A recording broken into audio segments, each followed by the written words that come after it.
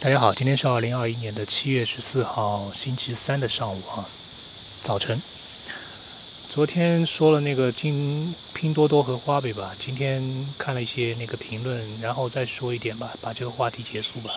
其实关于这种话题，我不想多说，因为人人以群分嘛，都分好了，能够跨界跨跨出这个群体到另一个群体的，毕竟是少数啊。能帮一两个就帮一两个，或者说是也没有什么说什么帮不帮吧。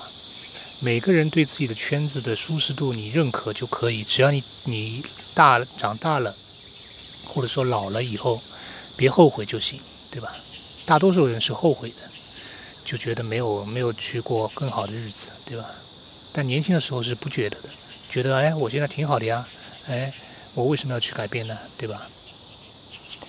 说那个呃花呗可以可以记账，对吧？有记账功能，这个都是怎么说呢？给自己找个借口吧。这就像好好比打游戏，你说能够锻炼自己的反应能力，你真的是为了反应能力吗？对不对？你就是为了爽吗？花呗你就是为了提前消费嘛，对吧？然后可以晚点还嘛，然后舒服了用习惯了嘛。其实你就是把自己的一个。消费习惯变成了先享受再还款，这个是阻碍你获得更好生活的最大元凶，只是你不觉得，然后你再找其他借口而已。啊，我不想多说了。那个还说什么花呗可以先消费，然后呢，把一个月以后再还，这一个月的钱呢存在那个啊理财宝里面是吧？这个，如果你的人，你的全部人的思维能力啊，思维是有限度的，就是脑筋的能量是有限度的。你的脑筋都用在这个方面的话，你还有什么脑力去思考赚更多的钱，过更好的生活呢？对不对？还有什么？嗯，没有什么了吧？你如果真的觉得拼多多或者花呗好，那你就继续用，对吧？因为毕竟这个这个社会上是过上好日子的人，他是对于我们十四亿人口来说是金字塔顶尖的一部分人。他虽然只有几百万，或者说有几百万，绝对数很大，但是你相对于十四亿人口来说是很少的。也就是说，你用拼多多、花呗的人，基本上不会去，这辈子都不可能去达到。金字塔的顶端了，或者说是更上稍微上层一点的都不会达到，这就是我说的啊。虽然有些刺啊，但这就是这就是事实。这就好像以前吧，我今天我这两天录这个视频，为什么呢？就是说我年轻的时候啊，我因为我也是从穷苦出身，我我以前做过视频，我说过，我二十四岁以前的梦想就是有能够住上有抽水马桶的房子。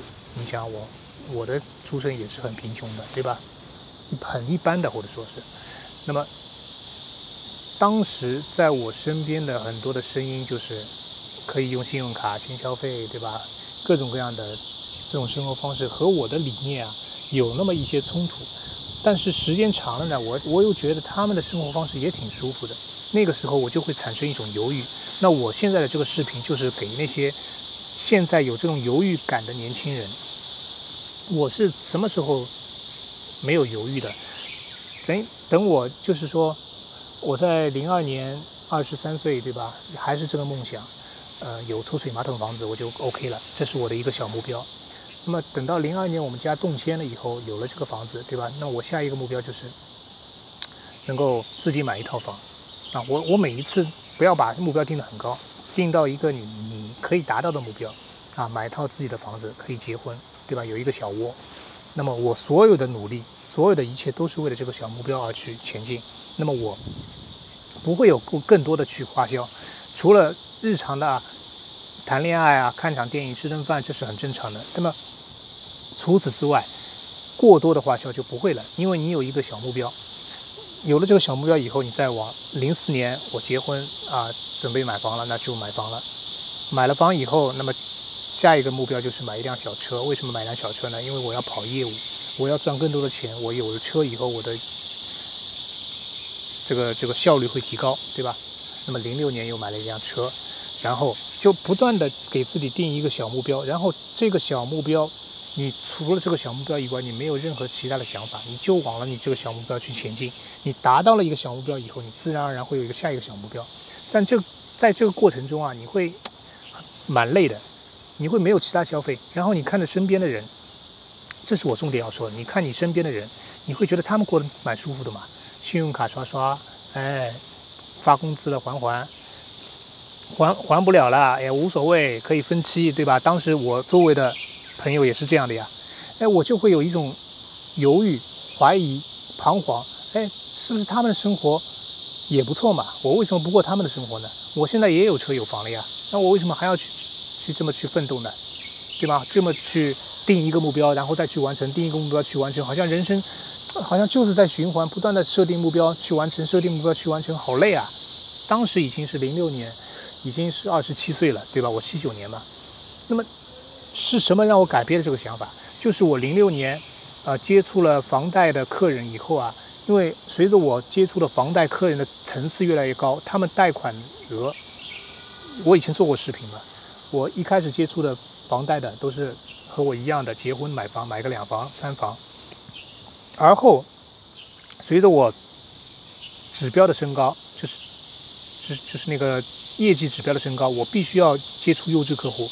当我接触优质客户越多，我跟他们聊天的时候，我就我就从他们的谈话中，我就感觉到了，他们是那群和我最初想法是一样的那群人，就是不断的给自己设一个小目标，然后去抛开一切的杂念，不要去看周围人，因为周边大多数人都是平庸之辈，他们大多数人是不会去跨界的，这辈子就注定在这个阶层了。而你想去跨界，你的想法一定和大多数人是不同的。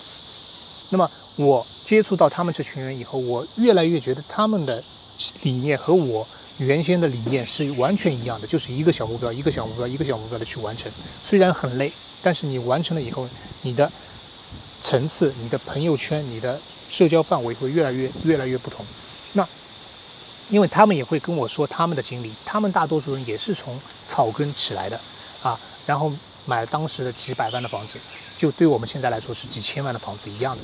那我从此得到了得到了一种鼓励，明明白吧？就知道了哦，原来这个世界上不是就我一个人是这么想的，是有那么一群人是这么想的，而且他们大大多数都是过上了好日子。所以我坚定了我想法和周边的人，我我也有一阵子想用过信用卡去消费啊，去透支，然后先用了再说，先先先享受了再说。然后接触了他们以后，我又回到了我最初的那个想法。我最初的想法是是对的，一个一个小目标去完成，有多少能力做多大事，踏实一点，然后一步一步去完成。所以才有我现在，你看我现在的环境，你觉得不错，对吧？我们这个小区的房子最便宜的也是一千三百万到两千万之间，啊，均价都是在十三万左右的，对吧？在在上海也算中等偏上。那你为什么呢？就是因为。为什么会从底层慢慢的爬上来呢？这个在上海里面，我不能说很少，但是不多的，可能一百个里面就不到十个人，不到十分之一的人可以这样去跨界。为什么不到十分之一的人可可以去跨界？就是因为我们的想法和别人不同，我们不会去提前享受，明白了吧？不明白我也不想说，因为注定大多数人是停留在原来的阶级上面的。好吧，我不知道我说清楚没有，能够听懂的就能听懂，听不懂的我也不想多说什么。而我现在又有自己的小目标，我我我自己的小目标又是什么呢？就这两年我要全神贯注的在股市，因为我知道这个股市我们百年一遇的行情又要来了，所以我这两年就是盯着股市，要把我这二十年的经验用在这股市上面，在上面赚一把，赚一个几何倍的数字。然后再改善我的生活。另外就是我要把我的注意力多多的移到我女儿的教育上面，所以我要去她的私立私立学校。我为什么要让他上私立学校、民办学校呢？就是因为我要他的环境好。上海话叫“格道”，非常重要。“格道”什么意思？就是与什么人为伍，与什么人为伍，你大概率就会过上他们的生活。这是我今天讲最重要的话：与什么人为伍？如果你觉得你用花呗、用拼多多、OK，很舒服，你继续用。你如果觉得有点犹豫，那么我告诉你，用只要手机上有拼多多、有花呗，那你这辈子基本上就不会有什么大的出息啊。我们，而且我想告诉你的是，除了除了你现在接触的圈子啊，大多数人都有拼多多，都用花呗。我告诉你，我接触的这个圈子，没有一个人啊，是没有一个人手机上有拼多多或者有花呗的，是没有一个人啊。要我要告诉你的是，这个世界上是有那么一群人，是根本不缺拼多多和花呗的。有，他如果，我我拿我自己做个例啊，如果我看到我有一个生意伙潜在的生意伙伴，或者说我要和他去接触，我看到他手机上有拼多多有花呗，给我的印象是什么？一，这是一个爱贪小便宜的人；第二，这是一个。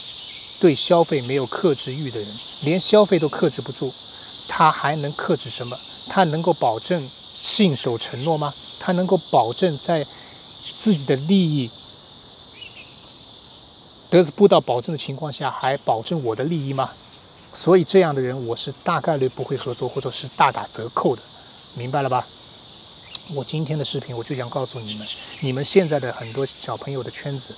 是大大大家都在用拼多多，大家都在用花呗，但是我要告诉你，我们日子过得好的那一群，相对来说的这一群人，手机上是绝对不会有拼多多，也不会有花呗的，啊，我们而且我们我也跟他们朋友之间经常聊起这个话题，有这两个 A P P 的人，基本上我们是不信任的，啊，不会去跟他们深交的，好吧？